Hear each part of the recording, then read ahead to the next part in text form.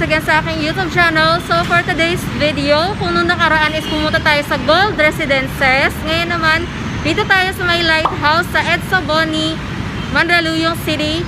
At nakikita niyo sa aking background is yung Light Residences 1 kung saan ginagawa yung katabi niyang Light 2 Residences. So ngayon, itutour namin kayo sa showroom. But before anything else, I would like to introduce to you my property specialist. Hello! Yan siya si... Angelique Aranyagan, your property specialist. Yes, and I'm Jonah Rivera, your property associate. And itutour namin kayo dito sa Light 2 Residences in Edsa Boni, Mandaluyong. Yay! So, tara! So, ayan, nandito tayo ngayon sa may MRT area. MRT station. So, Yeah. ito kasi, connected siya sa MRT, Sea Light Residences. Yun yung Light 1. And then sa baba niya is Light Mall. Yes, And then dun sa kabila nun, katabi niya, or sa tatawid ka lang, yun naman si Light 2 Residences. So, malapit lang sila. Isang tawid lang. Then, pupunta ka na kay Light 2 Residences. So, bababa lang kami dito. So, ayan, pinapakita namin sa inyo yung ah, Light Mall. Kung saan sa taas niya is yung residential units. Tapos, ito naman sa baba is yung commercial units. Ayan. So, pupunta tayo ngayon sa Light 2. Kung saan kinoconstruct yung ah, another building na ginagawa para sa pre-selling. Hola! Nandito ulit kami. Nandito na kami ngayon nakatayo kung saan kinoconstruct yung ah, SMDC Light 2 building. So, ito siya. Ayan. Yan, si Ayan 2 siya. Yan. Yan yung pre-selling na binibenta namin ngayon. Yung pinakabagong project ni SMDC here in Manila. Yes, in Metro Manila. So, Ayan. yung location, 8-minute walk siya sa Robinson Cybergate. And then, 10-minute walk siya sa Greenfield District. Ortigas, 10 minutes drive. Makati, 20 minutes drive. BGC, 22 minutes. North EDSA, 32 minutes drive. NAIA, 39 minutes drive. MOA, 32 minutes drive. In Manila, 40 minutes drive. So, yun. So, kung tutusin, pinaka-prime location to ni SMDC, no? Located kasi siya dun sa gitna. So, may access siya dito sa north at meron din siyang access pa south. So ngayon, ito na siya. Ano-ano bang features meron itong si Light 2 compared sa ibang mga units, location ni SMDC? Here in Metro Manila, si Light 2 kasi yung may pinakamaraming amenities sa lahat ng projects na SM. Nasa 20 plus yung amenities niya. So, meron, yeah, meron ding patwalk, gym, ganyan. Tapos eto nga, magkakaroon siya dito since nakita nyo to. So yan dito, magkakaroon niya ng accessibility, connectivity dyan. Mula dito sa Light Mall, papunta doon kay Light, Light 2. 2. Yes. So very convenient na kumuha ng unit dito.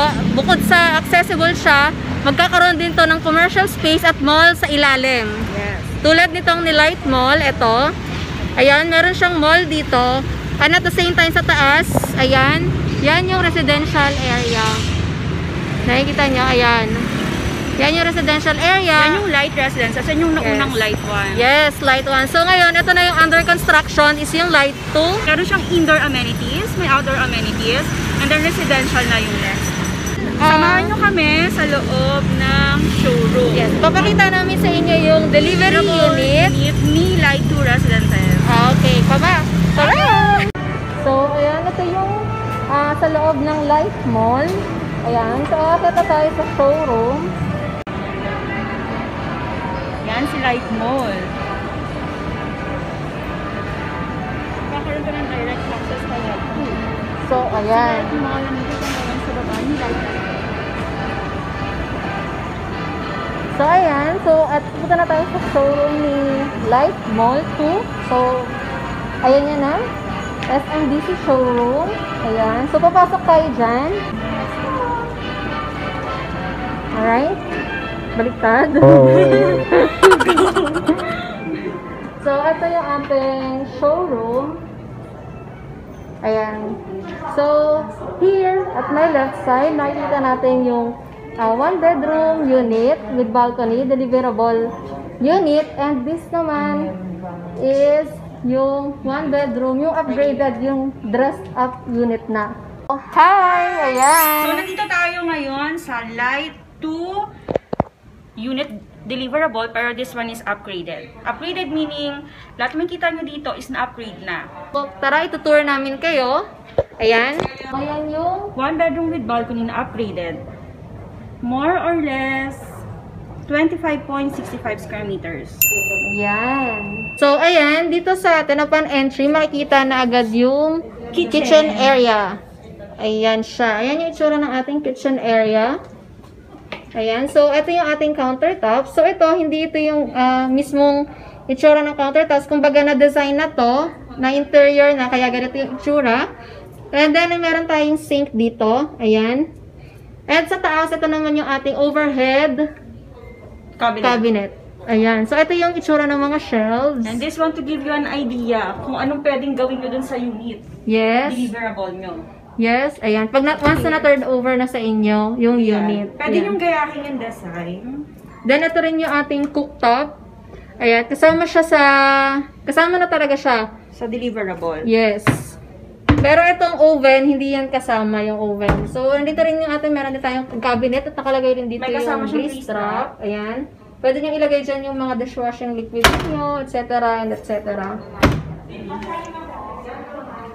So, ayan. Ito naman yung ating comfort room. Ayan. So, once again, ito po ay nakadesign na. Hindi ito yung actual na unit once na tinurn over sa inyo. So, na- nalagyan na siya ng mga design. Dito wala siyang mirror, pero ito pwede nyo siyang gawa ng mirror. Lagyan ng mirror. Then, ito yung sink. Nandito yung toilet natin. And, ito yung shower room. Meron na rin siyang hot and cold water. Kung ano yung prefer nyo. Ayan. Then, punta naman tayo dito sa living area. Ayan, ganito yung pwede natin gawing setup sa ating living area. Ayan. So, pwede rin na dyan kayo maglagay ng dining area. Nasa sa inyo yan. Pero dito sa ano natin, design natin is kasama na yung dining area dito sa ating living area. Yan. Ito na siya. Ito yung ating sofa. Pwede nyo ilagay dyan. And yung ating table set. Okay? So, Next. So, dito makikita nyo yung partition is binago na din. so, Oo. mas, mas nagmukha siyang modern. modern and also nakasave tayo ng space. Yes. So, this is the bedroom. And ito yung- yung balcony. Mm-mm. So, makikita nyo dito, ayan, hanggang dito siya sa akin. Mm-mm. So, ganyan siya ka lawak, kalapad. Ayan. So, pwede rin kayo maglagay ng mirror dito. Ayan. And, cabinet. Ang ina-advise namin cabinet sa mga maliliit na unit tulad nito. So, pwede ka maglagay ng mirror cabinet para hindi siya mas mu- magmukhang maliit yung space. Ayan. deliverable.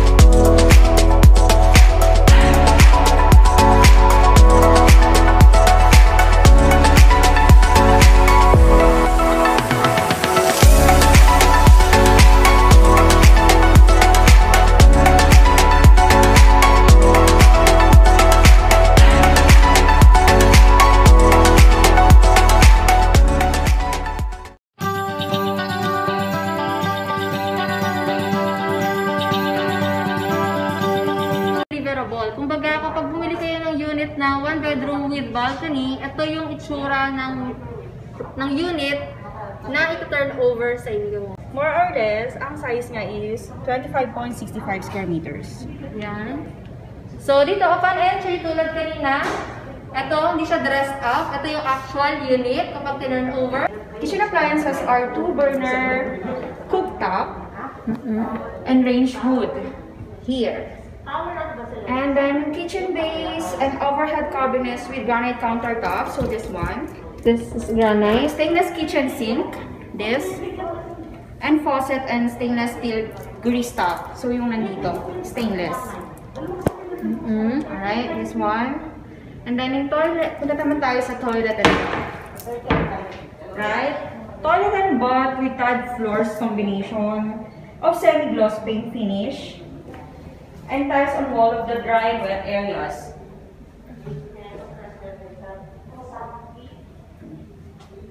And then we have the water closet, then lavatory.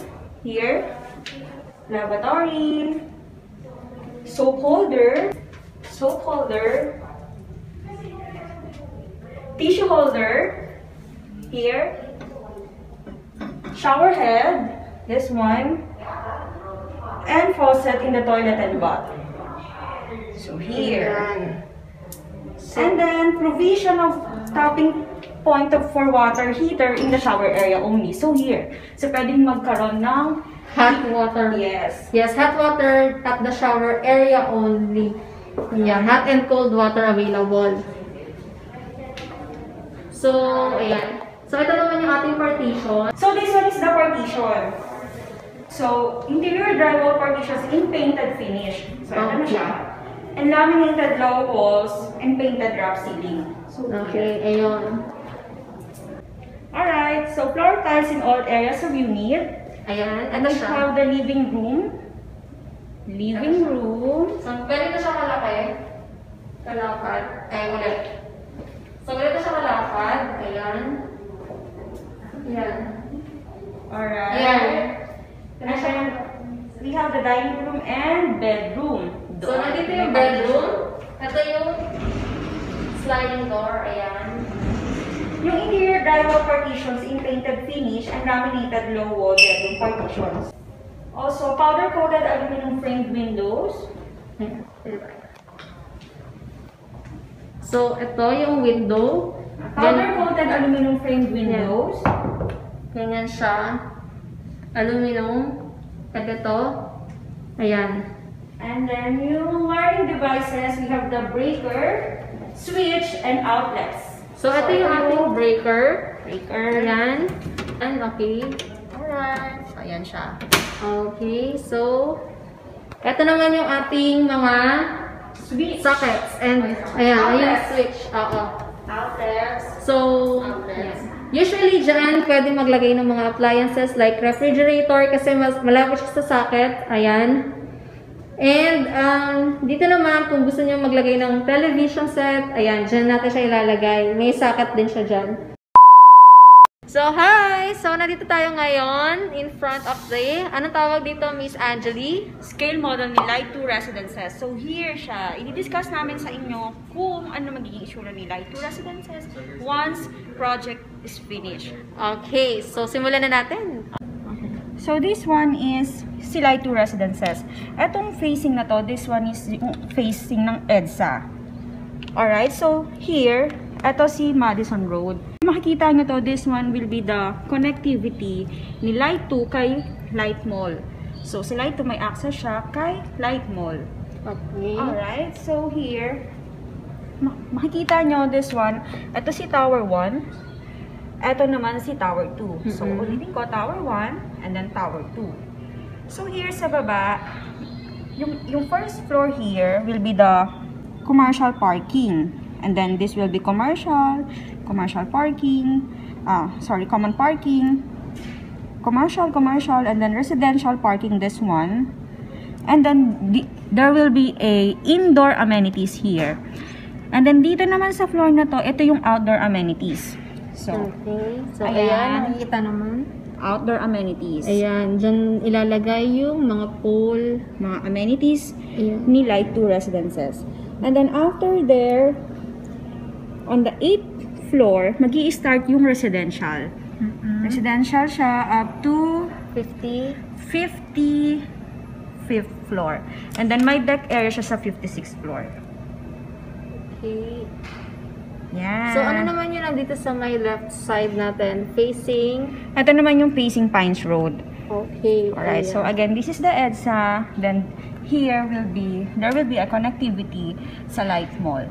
And then Light Residences na to. Then here, on this side naman, ito na yung, Diyan yung light. yung MRT station. Okay. Target turnover for Tower 1 will be on the year 2024.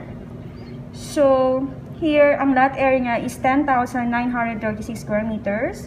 So, including dun sa amenities, we will have Tower 1 entry and Tower 2 entry, adult pool, children's leisure pool, lighthouse, kids pool, central loans, barbecue sun loan, kids loan, covered kids adventure zone, seating alcoves, children's play area, seating function lounges, shallow lounge pool, yon water jet seating, exercise zone, yoga area, party lounge, sun decks, ornamental planting, locker showers, family day beds, and sculpture and axis, then table tennis area.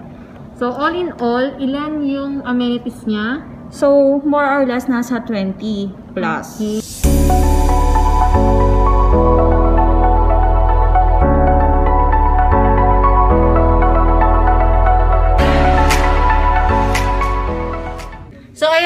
Ulit tayo sa dressed up unit ng one bedroom with balcony. So, may mga few questions lang ako kay Miss Angeli. So, Miss Angeli, if in case na may client tayo na gustong mag-reserve ng unit, so ano-ano ba yung mga requirements na kailangan ipasa para makapagpa-reserve? Yan. First, you have you will have the reservation fee. Second, reservation agreement. And third is two valid IDs lang po. Yun lang po. Maka- magkakaroon na kayo ng unit kay SMDC. So, ano yung ongoing promo natin right now kay Light 2 Residences? So here now, since pinahaba yung payment term ng unit. So now we have the 14% in 62 months, then 86% bank financing. So ang magiging monthly nyo lang, more or less, 15,255 pesos. So, yun, napakamura. Very, very affordable monthly for 15,000. Monthly for 62 months, meron ka ng sariling condo. And bukod doon kasi, since yung property, so sa'yo na, may enjoy mo yung amenities, nag-i-increase, parang nag increase yung property. Appreciation value. Yung Yes. value niya. Oo. At yung location kasi, accessible siya here, From north to north south. and south. So, Mm-mm. nandito siya sa gitna ng Metro Manila. So, baka may mga magtanong sa inyo kung paano kami kukontakin. You can simply also uh, follow us and like our page and message in our page. Ayan, ipa-flash lang namin sa screen dyan sa baba. So, I have JR, uh, Affordable Condo JRA. And, siya And naman I the is... SMDC dash ABC. Ayan. So, ilalagay na lang namin yung mga link namin dyan sa baba para madali nyo kaming may message. Also, you can contact me through Globe, Viber, WhatsApp, and Line. My Ayan. number is Naka, nakalag Yes. na dyan sa screen natin yung mga contact numbers, contact details kung gusto nyo bumili kayo, kung interesado kayo sa unit. And also, sa mga natatakot lumabas due to pandemic and kung nasa ibang bansa man kayo, meron tayong ways para makapag-avail ng ating unit. So, paano siya i-avail, Miss we Angeli? reserve online. So, i-DM nyo lang kami, then usap tayo. Alright. So, kung may mga questions kayo, feel free to comment down below. And of course, don't forget to subscribe our channel. And if you like our channel, please don't forget to give us a thumbs up. And uh, click nyo na rin yung notification bell para lagi kayong updated kapag may mga bago kaming video. So, thank you for watching and see you again on our next video. Bye-bye! Bye! Salamat! Maraming maraming salamat po!